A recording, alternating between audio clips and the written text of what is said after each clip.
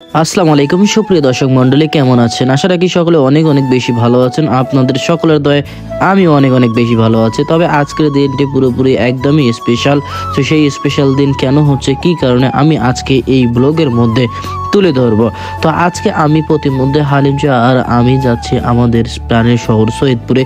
সেই সৈয়দপুরে যেতে যেতে আমাদের সৈয়দপুরের মেন্টর অর্থাৎ উপজেলা সাবেক পরিষদের চেয়ারম্যান মকসুদুল মমি- মমিনের সাথে দেখা। তো যাই হোক, সেই হিসাব করে আমরা কথা গল্প করতে করতে সৈয়দপুর চলে আসলাম। সৈয়দপুর চলে আসার পরে এখান থেকে আমরা আশা বেকারিতে আমরা আমাদের যে কাঙ্ক্ষিত একটি কেক কিনবো, এখন কোন কেক নেব, কি কারণে, এই বিষয়টি পরে শেয়ার করি নাকি?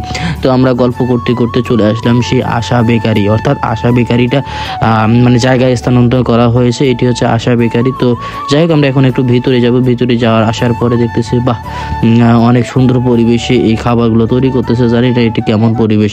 যাই হোক এখানে অনেক সুন্দর সুন্দর কেক পাওয়া যাচ্ছে। হ্যাঁ সুপ্রিয় দর্শক মন্ডলী কেকগুলো দেখে বেশ ভালোই লাগছিল, কিন্তু কেকের উপরে রং যা প্রচুর ক্ষতিকারক মানুষের জন্য। তবে তারপরও কে- কেক কে সুন্দর এবং মনোরম সুন্দর দেখার জন্য আর কি এই কেকের ভেতরে রং দেওয়া হয়েছে। তারপরে আমরা এখান থেকে আবার ভিতরে আসলাম, আসার পরে আমরা এখন সৈয়দপুরে যে এখানে গ্যারেজ আছে, সেই প্লাজারের সামনে, সেই গ্যারেজে আমরা গাড়িটা গ্যারেজ করলাম। গাড়ি গ্যারেজ করার পরে আমরা এখন যেহেতু আমার ভাতিজির আজকে জন্মদিন হ্যাঁ সুপ্রিয় দর্শক মন্ডলী আজকে আমার ভাতিজির জন্মদিন, তবে যেতে যেতে এক আমার ফলোয়ারের সাথে দেখা বলতেছে, হাই, কেমন আছেন? এইটি আচ্ছা। তো যাই হোক, আমাদের সৈয়দপুরের সব থেকে বিখ্যাত হচ্ছে একটি মার্কেট হচ্ছে সেই পুরাতন কাপড় মার্কেট এই যে হচ্ছে নন্ডা বাজার, যাকে বলা চলে। এখানে সুলভ মূল্যে অর্থাৎ কম দামে অনেকেই পোশাক কিনতে পারে যাদের আর কি খুব কমই চলে। তো যাই আমরা একটু ভিতরে মার্কেটে চলে আসলাম। এখান থেকে আমার ভাতিজির জন্য একটি জামা কিনবো। এখন জামাটা কোথায় কিনলাম সেটিও আমি আপনাদেরকে বলব। তবে হ্যাঁ আমরা খেতে হবে হ্যাঁ? এই সিনারিটি দেখে কাদের কাদের জিভ জিব্বায় পানি আসছে অবশ্যই সেটি কমেন্ট সেই ঝাল। সেই টক ঝাল মিষ্টি, এরই নাম টেস্টি হ্যাঁ সুপ্রিয় দর্শক মণ্ডলী, এর নাম হচ্ছে আমরা। আমি বেশ আমরা খেতে বেশ ভালোই পছন্দ করি, তাই আমি আমরা যেখানেই দেখি সেখানেই খেয়ে খেয়ে নিই। এতে আমার যতই তাড়াহুড়া হোক না কেন, আমি আমরা তো খাব, তো খাবোই। তো যাই হোক, আমাদের সেই ঝাল আর টেস্ট আর টক মানে বেশ দারুণ লাগছিল। আমরা চেহারাটা দেখেন জাস্ট ওয়াও অসাধারণ। তো এখানে আমরা আসলাম, আসার পরে এখানে আমরা কিছু কাপড় কিনবো। কাপড়ের মধ্যে দেখা যাচ্ছে আমার ভাতিজির জন্য বেশ সুন্দর সুন্দর কাপড় এখানে গোছানো আছে আর আমার সেই ভাই, পরিচিত ভাই, যিনি আমার প্রতিনিয়ত ভিডিও দেখেন, আপনি যদি আমার ভিডিও দেখেন, অবশ্যই কমেন্ট করবেন। তো এখান থেকে আসলাম, আসার পরে দেখতেছি, বেশ, জামাগুলো বেশ ভালো লাগছে। যেহেতু ভাতিজির জন্মদিন বলে কথা, তাই স্পেশাল কিছু নিতে হবে। সেই সাথে আমি ভাবলাম, যেহেতু ভাতিজির জন্য নিলে হবে না, আমার মেয়ের জন্যও কিছু নেওয়ার লাগবে। তবে এই জামাটা কেমন হয়েছে বা কেমন লাগতেছে, এই অবশ্যই সকলে একটু কমেন্ট করবেন যে এই জামাটা কেমন। তারপর আমি চিন্তা ভাবনা করতেছি যে কোন জামা নেওয়া যায়, কোন জামা নেওয়া যায়।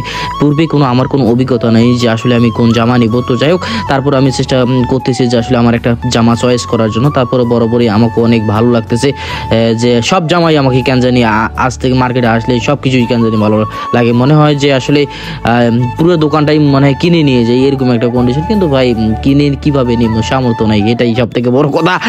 তো যাই হোক বেশ ভালোই লাগছিল। তারপর আমি দেখতেছি যে আসলে আর কোনটা নেওয়া যায় কোয়ালিটি ভালো কোনটা। তবে এই দোকানে সব কাপড়ে বেস্ট ভালোই বা কোয়ালিটি ফুল লাগতেছে তো যাই শুধু শুধু কাপড় দেখলে হবে না, কাপড় চয়েস করতে হবে। তো অলরেডি আমাদের একরকম চয়েস হয়ে গেছে, আমরা এখান থেকে কিছু কাপড় নেব। তবে এখানকার যে কালেকশনগুলো না, একদম সুন্দর কালেকশন তো যাই হোক কেউ যদি এখান থেকে যদি আপনারা জামা কাপড় বা কেউ কিনতে চান, এই দোকান থেকে নিতে পারেন। তো যাই হোক এদের কালেকশনগুলো জাস্ট অসাধারণ ছিল। তবে আমি দোকানের নাম বলে দিচ্ছি, এটি হচ্ছে আসিফ গার্মেন্ট আসিফ গার্মেন্টস মানেই উন্নত এবং নতুন নতুন কাপড়ের সমারোহ। এটাই সব থেকে বড় কথা, এখান থেকে কাপড় কিনে জাস্ট আমরা খুব সুলভ মূল্যেই পেয়েছি। তবে ভাইয়ের ব্যবহার ছিল জাস্ট অসাধারণ।